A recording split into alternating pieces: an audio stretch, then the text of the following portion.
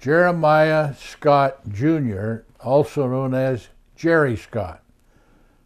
And how do you spell? J E R E M I A H.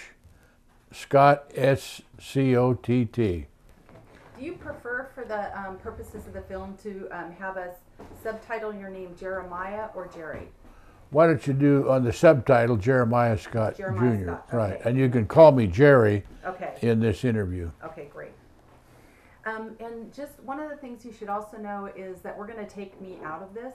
So when you answer the questions, if you could answer them in complete sentences, Right. um, just because nobody will hear what the question is. Okay. Okay. And then, um, yeah, I think that I think that pretty well covers it. And so we've we've started with the easy thing. The nice thing about doing digital video too is that um, if you have to cough or clear your throat, you can just start the sentence over again Mhm. because um, that you know it's very easy just to take things out of the um, the video. So don't worry. Like right now they're rolling. I'm talking and blah blah blah. But we're going to take all of that out of the video. So um, how old were you during the 1964 flood? I was 27 years old. Eh, And what what were you what were you doing for a living during that time? Well, I graduated from Eureka High School in 1954 and I went to college. And while attending college, I took Army ROTC. In those days, all young, healthy males were required to register for the Selective Service draft, and and uh, I desired to be an officer because I was facing military service. So I took Army ROTC in college for four years, four-year cadetship. And when I was graduated from college in 1958, I was commissioned as a second lieutenant Army infantry, and I went on active duty after college. And my first station was Fort Benning, Georgia, at the famous Army Infantry School, where I attended what's called the Basic Infantry Officers Leadership Course, a 12 week course of second lieutenants teaching you how to be a platoon leader. A rifle platoon in the Army Infantry was 45 men, five sergeants, uh, 45 riflemen, and five sergeants, and the platoon leader, who's normally a second lieutenant. After completing that course at Fort Benning, Georgia, I was stationed at Fort Riley, Kansas, uh, in the 1st Infantry Division, the Big Red One, that went ashore at Normandy Beach in 19, June 1944. Uh, with the Big Red One, I was the platoon leader of a platoon of 45 riflemen. When I made first lieutenant, uh, after about a year plus, I went to Fort Ord, California, where I trained troops, raw recruits right off the streets, uh, and uh, we had what's called basic uh, uh, training and advanced training each six weeks course. And then I was a first lieutenant. After two years, I got out of the Army went to law school. I uh, got out of law school in 1963, and upon passing the bar in early 1964, I came back to Eureka and, and I was practicing law in Eureka. While in law school from uh, 60 to 63 plus, I was in the 91st Infantry Division in San Jose, California, where I was a, uh platoon leader and uh, executive officer of a rifle company. And, uh, and I stayed in the reserve when I came back to Eureka. I, uh, uh, I was assigned when I returned to Eureka to the 250th Transportation Company, which was located near Sequoia Park, across the street of Sequoia Park, where we see now the National Guard headquarters and the big facility there containing big trucks and tractors. At that time, in early 64, that location across the ar- military location across from Sequoia Park was the National Guard, which was an engineer company, and the 250th Transportation Company. The 250th Transportation Company consisted of World War II amphibious ducks, which uh, people would see normally in movies. Uh, uh, they were assault transports for riflemen or troops onto the beach from uh, the vessels, and they were manufactured uh, during the World War II. Uh, the amphibious duck was 50 to 31 feet long, 8 feet wide, and were really a boat on a truck traverse, so that uh, so that the duck could tr- uh, be transported by water. It had a propeller in the back, four big tires, and it could be uh, used uh, on land. So the during the invasion of Normandy Beach and the invasion in the islands in the South Pacific, the ducks were used to transport the men onto the beaches or onto the uh, uh, dry land, and then those uh, ducks would transport the men even on dry land. So I took over as company commander in 64 uh, of the amphibious duck company uh, at, uh, at Eureka. I was a captain and I was infantry, so I was not familiar with amphibious ducks. My job as an infantryman was, was small unit tactics, rifles, uh, mortars, uh, and uh, machine guns, and not amphibious ducks. I never did learn how to drive one, but when I joined the reserve unit here in Eureka, I was 27 years old, and uh, we had approximately 150 men in the unit. And this is interesting because the men in the unit were in reserve. They had predominantly performed their active duty service in varying branches, anywhere from uh, chemical corps to, uh, signal corps to transportation to artillery to armor. So we had uh, about 150 men, most of whom I knew uh, as uh, community members uh, as a young person and uh, and they had already done their active duty, so it was not like the regular army. It was kind of like fun and games, and uh, and and so we had. I was signed. I had to sign my signature to be the custodian of 27 amphibious ducks, and we had nine located here in Eureka, and the other 18, I think, were uh, down in near Mare Island, in the Bay, San Francisco Bay Area. And uh, and and it required some expertise to to drive those vehicles. So each vehicle had about three a staff of three or four men who did certain jobs on the vehicle, and uh, so we would spend uh, as a reserve unit. We were required to uh, spend one weekend a month uh, from uh, Friday to Sunday, and then two weekdays, uh, two weekday nights. And then in the summertime, we would go up to Fort Lewis, Washington for two weeks on the Puget Sound and na- navigate ducks that were up there. So in December of 1964, uh, that was the status of the local reserve unit. They were local young men in jobs here, lumber business, uh, logging, uh, various jobs. And I had probably uh, one first lieutenant, Bill Sullivan, who had just come back from Korea, and probably two or three second lieutenants and about 150 men, sergeants and down to privates, and uh, and they were just a great group of guys, and uh, so that was the uh, U.S. Army Reserve Unit then in Eureka. Also on the site was the uh, engineer company, which was a part of an engineer battalion, and they they were uh, actually that that engineer unit was uh, commanded by Warrant Officer Bob Brown, and they were used in the '64 flood. Uh, I, uh, really, with those uh, big pieces of equipment, the D6, D7 Caterpillar tractors and big trucks uh, in in restoring the, the property uh, and the damage uh, after the 64, December 64 flood. So they were a separate unit than mine. Okay. And so, you know, it started raining. It rained in November. Like, at what point did you say, I think we've got a real serious situation here in, in, in Humboldt County with the flooding? Well, I remember it very well. I, I remember the uh, 1954 flood. I was home from college as a freshman, and it rained heavily, and there was a there was flooding along the Eel River that I remember, and the Klamath River, uh, and the Trinity River.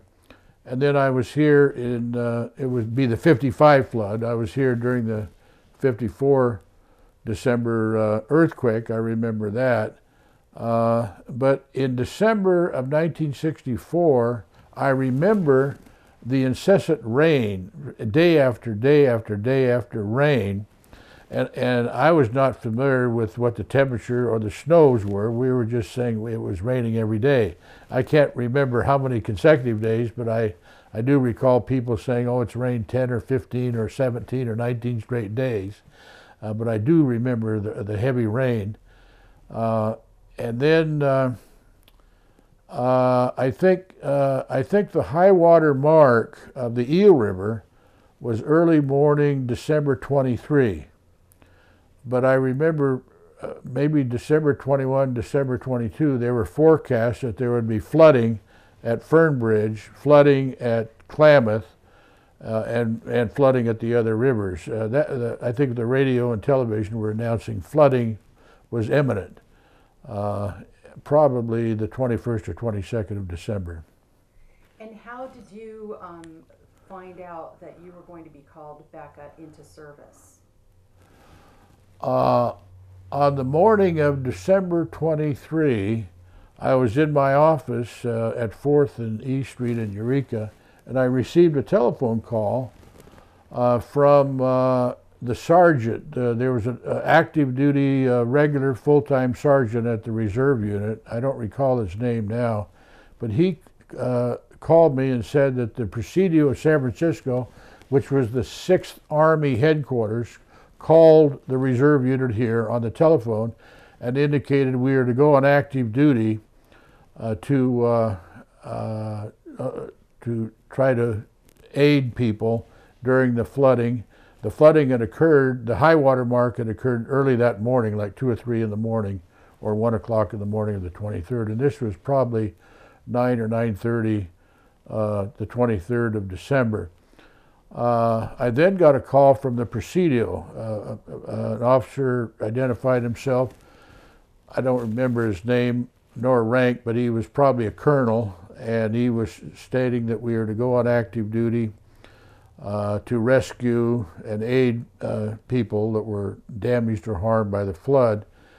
And so I, I then, uh, in talking with the sergeant at the Sequoia Park headquarters, I said to him, uh, we'll go out uh, in ducks. We'll take three ducks, always a, three ducks together, so that if you, one duck is in trouble, there are two other ducks to aid the one duck. And uh, get 20 of the best drivers and get, get them. Uh, we didn't activate the entire unit. I said, uh, let's get, uh, let's rotate here and we'll get 20 of the best men, best drivers, particularly sergeants, and those were generally sergeant uh, status, and uh, uh, report to the headquarters right away. So the sergeant then called the 20, 25 of the men, and uh, we went out that afternoon. I went home and got on my uniform and went up to Sequoia Park military headquarters, and we went out that afternoon, which would have been the 23rd. And now, a lot of these people must have lived in Eureka because um, already some of these areas were cut off from trans- transportation from getting to Eureka. So a lot of your drivers lived in the Eureka area or were somewhere where they didn't. Well, the, the, of the of the 150 men in the unit, I would estimate uh, uh, the vast majority lived in the Eureka Arcata area and Fortuna, and uh, Several were from uh, North uh, County, would have been cut off, and, and several from South County were cut off, but predominantly they were in a, in a geographic area around the Humboldt Bay. Uh, so we had no problem getting people on board to help that were members of the unit. Yeah, I'm, I'm thinking, you know, a lot of times you're concerned about your own family, but it sounds like it was a time where people said, you know, once they got their own family, you know, made sure everybody was safe. You know, they were all on board on helping um, to go rescue people. yeah, ab- absolutely. There was no no dissension or apprehension or negative concept. Uh, I happen to live in southern uh, Eureka. Uh, we had a young son, maybe a year old, and uh, uh, we were high and dry, probably an elevation of 300 feet, so I wasn't worried about my family. But uh, the people from uh, Fortuna were able to get in to Eureka but south of Fortuna, uh, negative. They were not able to get in, and, and Arcata people could get into Eureka. And so, um, was your job really kind of just commanding and uh, just making sure that everything ran smoothly, or did you actually go out and do some of the rescuing? Well, I went out with the ducks. Uh, uh, my my main job was to uh, carry out the role that were was given to us from the headquarters of the Presidio to uh, rescue people, transport water, supplies, medical supplies, and blankets to the uh, area uh, to the area affected. rescue people is the main. so I actually went out. I was out I went out with the ducks, uh, I think three days. And, uh, and then the ducks went out after that. When the water went down, uh, the immediate crisis was not as severe, let's say the fourth or fifth day. So I didn't go out, out in the ducks the fourth or fifth day. But I did uh, stay at the military headquarters uh, most of the day of each of the fourth and fifth day. But I was out in the flood area the first, second, and third day, being the 23rd, 24th, and 25th. Places did you go to and what kind of happened on those days? Well, our first mission, uh, the Red Cross had set up, United States Red Cross had set up uh, headquarters at Fortuna at the Veterans Building on Main Street in Fortuna. Uh, I believe the Red Cross also set up the headquarters uh, at the Municipal Auditorium here in Eureka.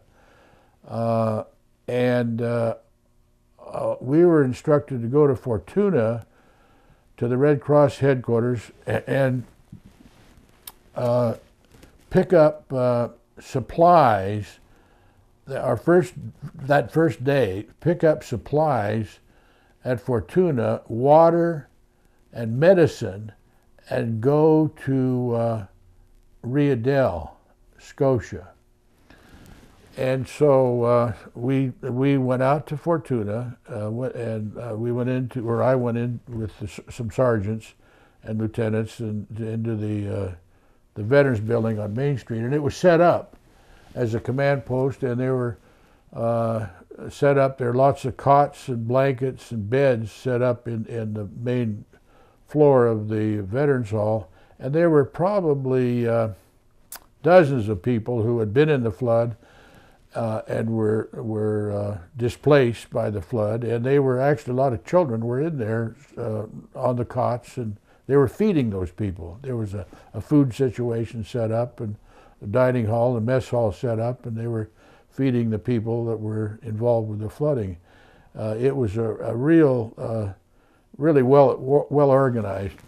But I remember uh, we were told we were told to take medicine and blankets and I think water to Ferndale, I mean to uh, Rio Dell, Scotia.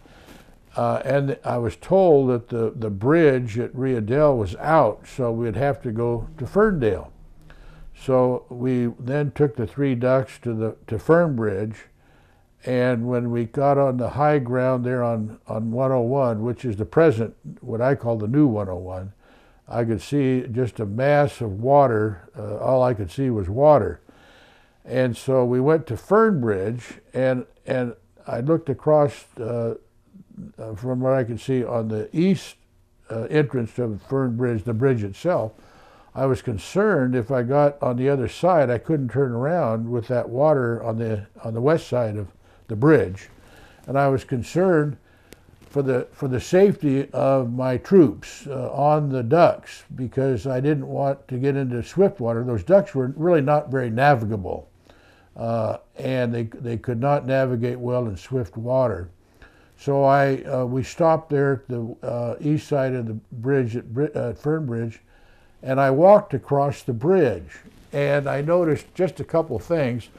There was a, uh, piece of equipment on the bridge uh, trying to uh, dislocate logs and debris that had, that had gathered on the upstream portion of the bridge, causing pressure uh, to the bridge piers. And I, that's the first thing I noticed. Then when I got over to the, uh, the other side of the bridge, uh, uh facing Fernbridge, it was a mass of flooding water A- And just on the incline on the west side of the bridge, I, I looked at the current. I walked down to the edge of the water, and it was so swift. I thought that there was a danger that if we got the ducks into that water, we would lose the ducks and would end up in the Pacific Ocean, and I'd lose people. And uh, that was my main concern: is the safety of the troops. And so uh, I decided not to cross, not to cross uh, the Fern Bridge uh, because of the water depth and, and the swiftness of the current uh, in the Eel River. So I went back to uh, the Red Cross uh, and told them that I was going to try to make it uh, to uh, Rio Dell, Scotia via 101. So we then, then went, I think the next day, the next day got dark and I didn't want to be out in the dark. And so the next day, uh, we went down to Fortuna, uh, loaded up other material in the ducks, and we went south on 101, and, and it was a tremendous in the Alton area, Alton metropolitan area. Uh, water was high. Uh, the, and Alton, particularly, there's several pictures taken of the ducks at Alton. Uh, but we weren't taking pictures. We were we were rescuing people, uh, and our mission that day was really to rescue people from the outlining areas, the agricultural areas at Metropolitan, Starvation Flat, on the Van Duzen and uh, Alton. And so we we did that, uh, and we did that for several hours, and we would bring people to to dry land, and then they would be uh, transported back to the Red Cross uh, Central Command Station there in Fortuna. Uh, I remember getting to uh, the area which was known as the Eel River Sawmills area, which would be south of Metropolitan, and uh, and the whole entire mill of Eel River Sawmills.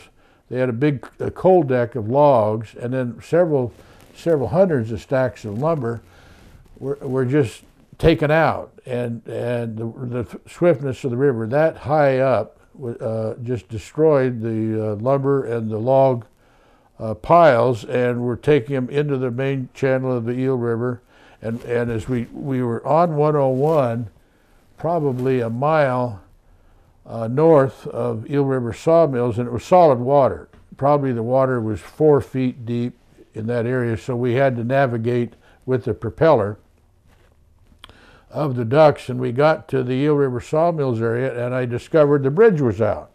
I saw that bridge that's famous in the pictures. I think it was the, the new bridge uh, was out, uh, and maybe a portion of the what's called the Paul Mudgett Bridge. Uh, and so, uh, and this is kind of interesting. Uh, I thought, well, maybe I can get to, to Scotia via the railroad. I, that was my thought. So we went uh, up a lane to the railroad, and uh, and this would have been uh, in the vicinity of the Eel River Sawmills sawmill. And I thought, well, if I get on that railroad and it's washed out, I, what am I going to do? I better walk the railroad. So I did, in fact, uh, walk along that railroad, and I had three or four people with me, a lieutenant and some sergeants and we walked the railroad, and we didn't get very far, but the railroad was out uh, near near the area where the bluffs, called the Scotia Bluffs. Uh, and so uh, uh we decided we're not going to get to Scotia today. And so uh, uh, that was the second day. And then the third day, we, we stayed south of Eureka and, and continued to go out and rescue people at Starvation Flat Metropolitan Alton, and and I do recall the the uh, the levee at Fortuna breaking early, and the Fortuna area all flooded south of Fortuna. When we went south of Fortuna, uh, the old highway went uh, along. I think they raised strawberries there now, just south of the. Uh, there was a couple sawmills there, and we and we took the old route, but we had to navigate with propellers because of the depth of the water was oh four to six feet deep. Uh, so that's that's uh, generally where where we spent the third day, and that was then I came in and I stayed at the headquarters, and then we would rotate the men and officers daily uh, we rotated every day anyway, so that no one would be required to spend each day. So we had we had we had sufficient people to to do that. That's good, yeah. Um, I'm wondering, um, just in my mind, I'm imagining these ducks and how, wondering how you get them from the, uh, the, the place by Sequoia, Sequoia Park to that location where, where, um, you're putting them in the water. Do you walk them there like you'd walk a cat? Um, I mean, are you like driving them there, or do you load them on a trailer and move them? Okay, the the uh, the ducks are are self-sustaining. In other words, they they have four tires. They're just like a truck on a truck chassis on a boat. So you can drive them uh, on a highway. You can drive them up to speeds of 25, 30 miles an hour. And then when you hit the water driving, and the, and the personnel are on the ducks, uh, you can uh, then uh, deflate from inside. You can deflate the tires so the tires are soft and they can navigate in the mud. And then when you get into high water, then you can turn on the propeller and it's just like being in a boat. Uh, and uh, so they were self-sustaining.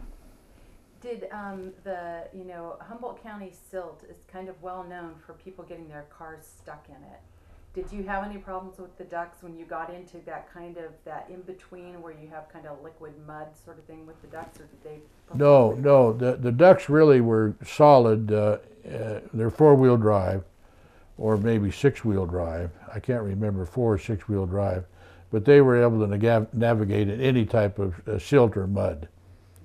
And, and uh, we we were in, in coming up to houses, and people were uh, on porches or houses or in windows, uh, we'd get up pretty close and uh, and sometimes we'd be in the mud. Sometimes we'd have to have the propeller going because it was so deep.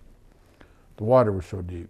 Do you remember any particular people that you rescued and what they what they said and how they reacted to seeing you guys? I mean, I'm sure that they were like, so happy? well, I can't remember names, but I remember uh, uh, dozens of faces, and particularly the, the mothers and the children. The, the, the fathers uh, and the males were very stoic about it. They were going about their business, protecting their families, but the mothers were very attentive to their children, and the children were very happy to get into the ducks, and it was a new experience for those children to be in ducks, and of course it was a whole new experience for everybody, really. We had never been in that kind of situation before.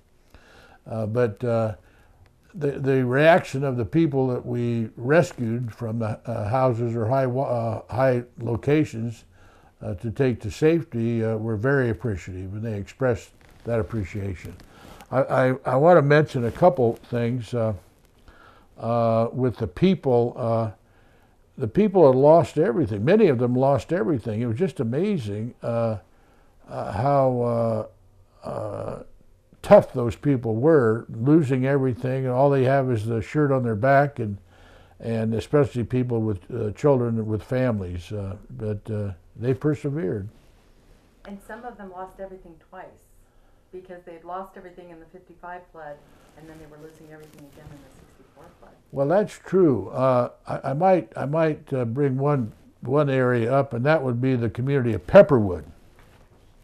I remember as a child uh, uh driving 101, Highway 101 went through right through Pepperwood, and there was a big swinging curve which still exists, and that 55 flood destroyed much of Pepperwood. Uh, but the 64 flood was much greater and really destroyed Pepperwood, totally destroyed Pepperwood. I think in 55, the road was restored in the same location. Many of the stores, motels, uh, were restored after the 55 flood, but not after the 64 flood. And there's several pictures of, of Pepperwood uh, after the 64 flood, aerial pictures, uh, showing uh, the total loss, and I think there were loss of life there in Pepperwood. Five or seven people, I think, were lost their lives in the Pepperwood area. Uh, Go ahead. I'm. Oh, I was just going to say, I can't remember if you told me the story of the carved corn uh, statue from Pepperwood washing out. Oh yeah. Uh, uh, prior to 55, on that big curve uh, of Highway 101 in Pepperwood, there was a store called Pete. Pete Carnegie had, had uh, the store and a bar uh, in the same building, and I knew Pete Carnegie because my father was an attorney, and he was Pete Carnegie's attorney. And when I was 12, 13, 14 years old, my dad would stop and say hello to Pete and would buy produce. Uh, that 55 flood took out Pete's bar and and uh, uh, and the the the corn uh, the area of Pepperwood was famous for corn and produce, and there were two or three wooden uh, I guess you'd call them a wooden statue of a corn cob ready to eat. And uh, and even if, if you go there now there's one or two still standing on on old highway 101 uh, but I remember a, a, restaurant right on the street of the curve across from Pete Carnegie's uh, Pete's uh, store and bar, uh, and they had uh, they had uh, two statues, I think, or three statues. there was a famous comic strip character called Dagwood, Dag, uh, Dagwood and Bumstead, or uh, it was a Bumstead family or something like that, and and I think that's one of those statues still exists uh, in Pepperwood at one of the produce uh, stands in, uh, to the north of the north of that. Uh, but I remember seeing or looking for those uh, corn cobs. They're maybe six feet high, uh, sculptured uh, uh, uh, and painted yellow and green, and they're still there. They're still the same ones are there. Did, did one of them get washed down the river? Or? Well, I think several got several washed down the river, but two or three were saved and still exist at Pepperwood. Now, I had um, heard that, and I think you were the person who told me about Metropolitan, that the hotel at Metropolitan, um, sort of like a lot of the timber that came down the river backed up behind Metropolitan Hotel, which kind of uh, temporarily at least saved some of the people who were downriver of that. Did you tell me about that? Well, I, I became familiar, more familiar with Metropolitan because uh, the, the logs and lumber from the upstream mills, uh, Myers Flat Mill, Redcrest Mill, Pacific Lumber Company, Eel River Sawmills. Much of the, uh, the logs and lumber from those mills came downstream and were deposited along the, the shore of Eel River in the metropolitan area. And in the metropolitan area, then there was a, I think there was a, a Catholic monastery, or uh, a sisters or priests were trained there, or or, uh, or studied there. And I think it may, still exist, or I think that building still exists. It became a residence. I think the, the Bertain family later lived in that residence. Uh, but uh, in that area, all these logs and lumbers were deposited, uh, I mean, several feet high. Uh, and uh, I don't know if they if that really saved anybody downstream, but it became uh, the subject of some litigation in court that my father and I were involved in later. Uh, the uh, Eel River Sawmills Company and Pacific Lumber Company claimed title to the uh, to the logs and lumber that were deposited on those ranches, and most of the ranchers uh, allowed uh, the lumber companies to remove those, and the Corps of Engineers came up which was a regular army out of San Francisco with equipment to, to clean uh, the ranches, clean the, the logs and lumber from those ranches. Uh, and we were involved with one ranch that the, the ranch owner wanted title to the logs and lumber, so there was litigation. And uh, the rancher that we represented ended up owning the logs and lumber. Uh, and uh, it was interesting because uh, the sheriff had to sell uh, the logs and lumber uh, pursuant to the California statutes, and uh, the damage uh, caused to our clients' uh, improvements uh, was his lien on the logs and lumber, and he got title to those logs and lumber, and he he used that the logs and lumber. You bet. It seems like a lot of. The, you there oh, for sure. a second? Sorry, we have a technical thing when you sit forward. Um, oh, oh, I'm sorry. oh, you bet. Okay. Yeah. Sorry. So you're actually hearing it? I'm hearing it change when you move. Oh, Yeah. okay, Thank you. okay. Um, so a lot of the people who have uh, dairy land out in the bottoms there um, were saying that you know um, one of the you know the lo- the the timber came in and that was all stacked up, but also the amount of silt that came in and some of those properties had to be cleaned up. Do you know um, much about that? Well, I can remember two ranches losing a property, erosion caused by the, the swiftness and the height of the water. More erosion, the, the siltation is a fact of life with high water. Siltation is welcome because that makes the land more fertile. But erosion takes away what the land you have. And I remember a ranch, John and Ann Victoria on the Van Duzen, two or three weeks after the flood. Uh, uh, they had a loss of uh, several acres on the Van Duzen of erosion, so that what used to be a field with crops or cows grazing was now riverbed with rocks. And that also happened on the Miranda Ranch in uh, Ferndale and several other ranches. Many, numerous ranches uh, sustained that damage. Yeah, we also talked to people um, on the Klamath who had the same situation where they had homesteads up on the Klamath and lost um, their um, everything the animals, the barns, the houses, um, and you know, like acres and acres of property up on the Klamath as well. Well, uh, I can remember Klamath. Uh, I, I worked on a survey crew when I was in high school and college for in 53, 54, and 55. Uh, my dad thought every lawyer should know surveying, so I was on a survey crew at age 16. And we, we surveyed a lot of property up in the Klamath areas. So I was familiar with the community of Klamath in 53 and 54 having stayed there in the summertime in the motels and eating there in the in the restaurants, and they had a movie theater in Klamath that changed the movie I think once a week. So I saw the movie a couple times a week. But uh, what was really Klamath was really damaged. Uh, there was a community, the Klamath area called it was called Klamath Glen was a residential community where people had beautiful homes, big, large homes, and there was a sawmill that I could several sawmills in the Klamath area, but one in particular was called Arrow Mill, and I think Simpson bought out Arrow Mill ultimately.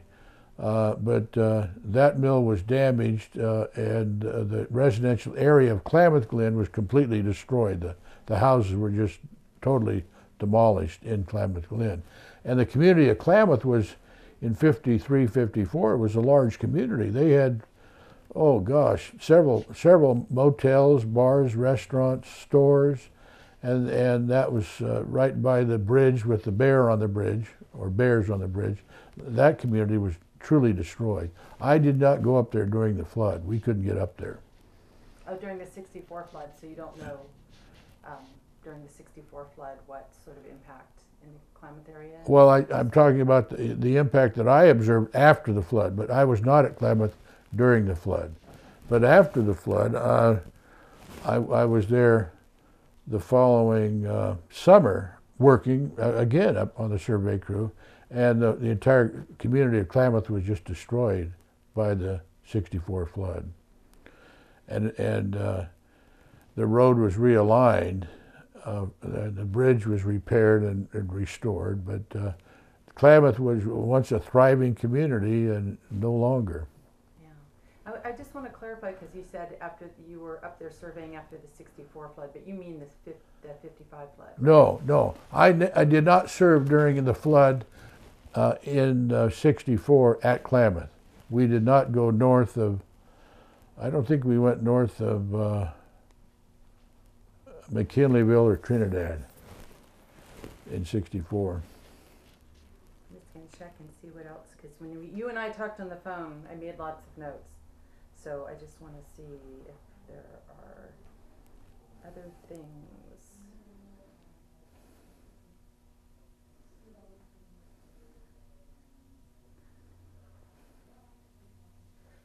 Um, I think we covered a lot of what we talked about on the phone. Is there anything else about the flood that you feel like you want to talk about? About the 64 flood? Anything we? Well, uh, I, I- would like to point out, uh, after the, the flood, the bridges were taken out south. The main, the main arteries, east, north, and south, the bridges were destroyed. And the first, the first bridge, uh, in my recollection, that was really repaired was the bridge between Rio Dell and Scotia.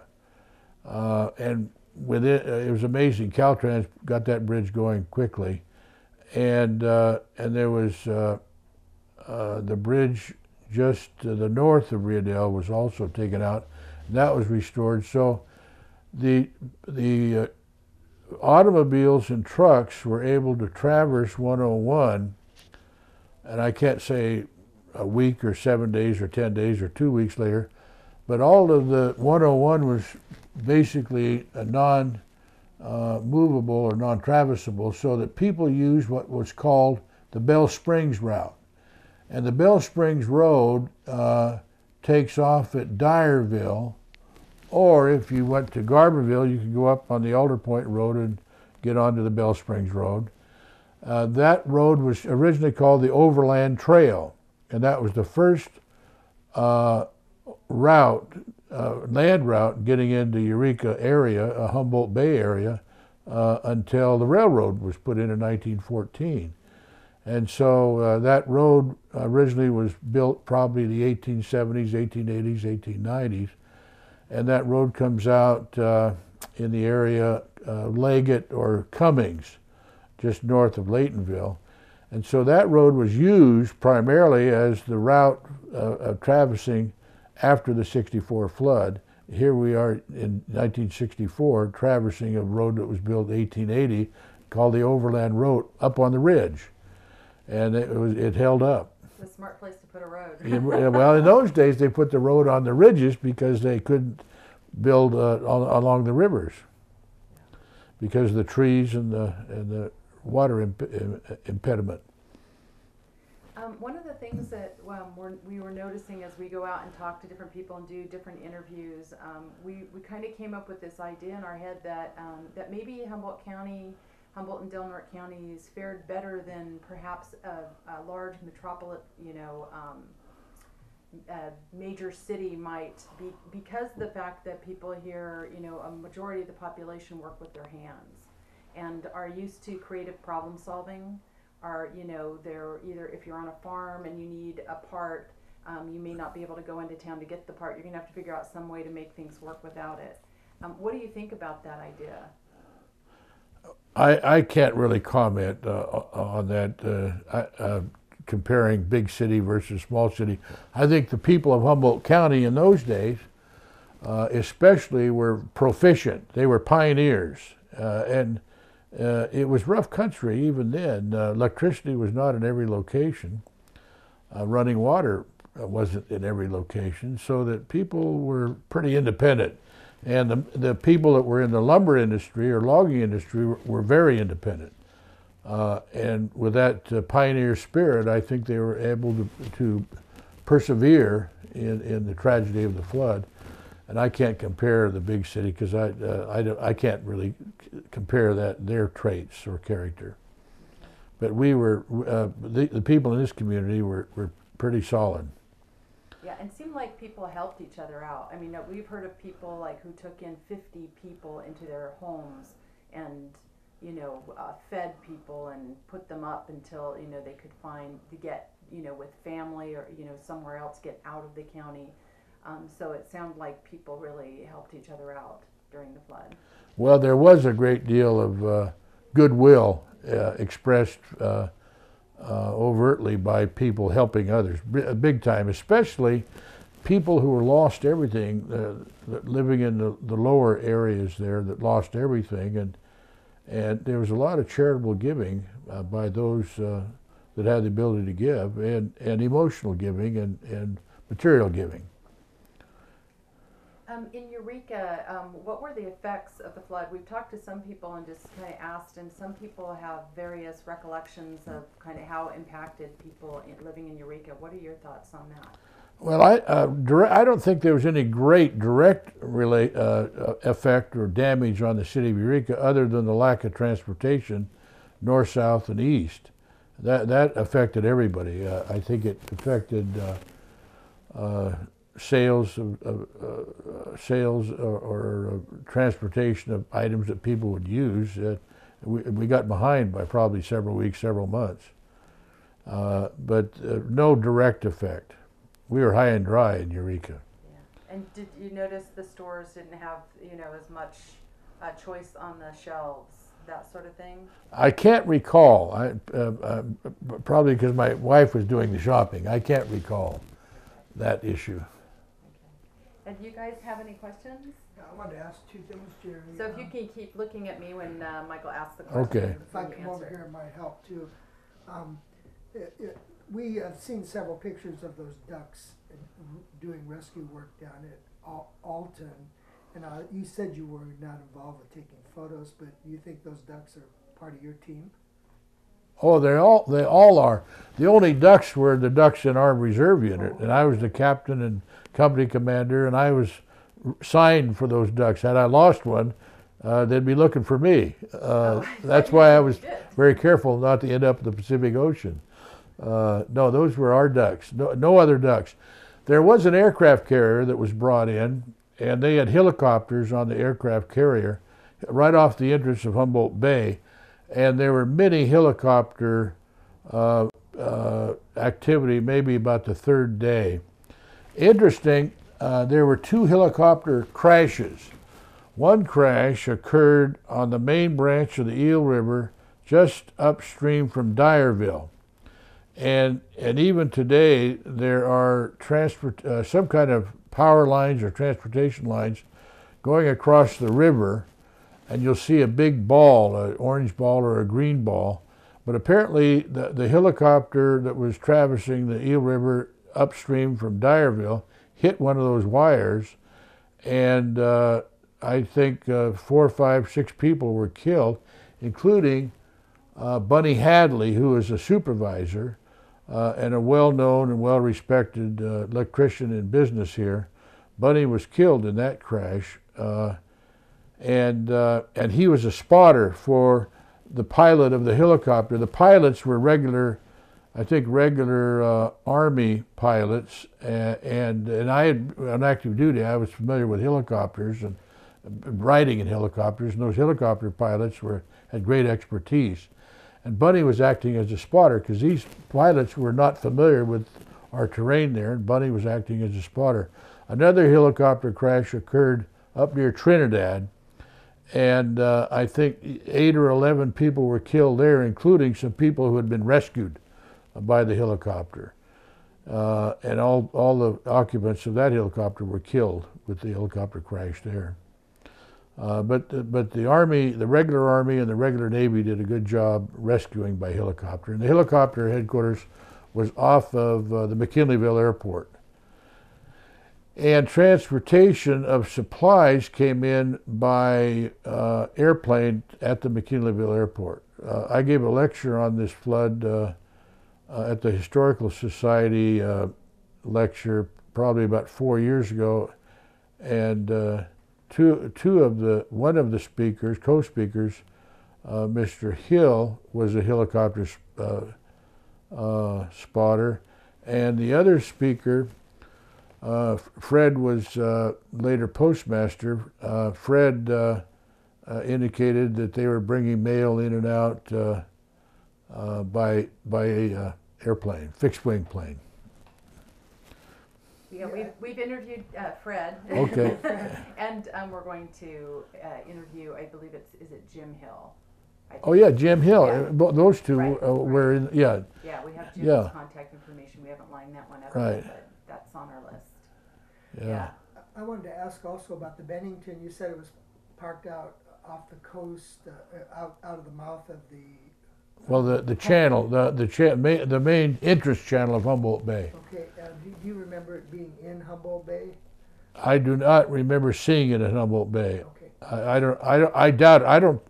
I, I doubt at that time. I don't think the channel entrance was big enough to handle a helic- uh, a big a big carrier coming in. In fact, as the attorney for the Harbor District for 30 years, we had three projects deepening the bay.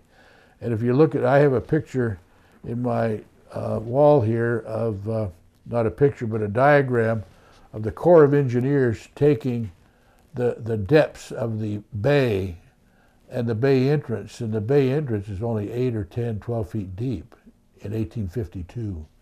So, uh, and that was the case. Uh, there was a, a, little depthing, uh, deepening up until maybe 1895, but after 1895, there were several projects to deepen the bay so that larger ships could get in. But I don't think a carrier could get in in 64.